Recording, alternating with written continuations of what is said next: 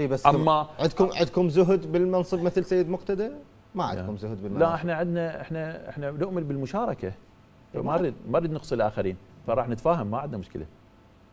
يعني إحنا نؤمن بالمشاركة مع الآخرين. مم. هذا البلد لا يستطيع أن يدار من جهة واحدة. مهم. هذا البلد يجب أن يدار بالمشاركة. ليش العصائب كانت راس الحربة بال- بالخصومة؟ مع مع التحالف الثلاثي. يعني ليش لا كثير لا، من الشيخ الاخوه قيس يطلع كثيرا. مواقعكم نوابكم مم. كلكم تتصدون بشراسة يعني وكأنما م- قضية وجود مو قلت لك وحتى حتى تعرف يعني هسه ما أريد نرجع لل- للي كانت تنشر كان الحديث دائما عن شيخ قيس حتى من الصفحات المقربة من سيد مقتدى يعني هنا شوف الثاني ما أريد أرجع أخوض بهذا الكلام على مم. أنه هاي الحمد لله الأزمة تجاوزناها. وإن شاء الله أخذنا من عدة دروس وعبر حتى لا تتكرر مم. ولا نوصل الناس إلى هاي المراحل اللي وصلت بس آه، كانت هناك إشارات واضحة من ال- بالإقصاء.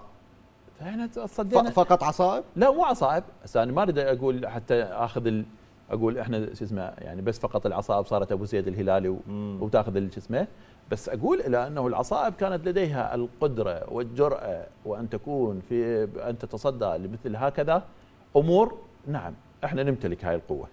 نمتلك قوة القلب ونمتلك الشجاعة بأن نتكلم بما نؤمن به صراحة. مم. ما نخفي.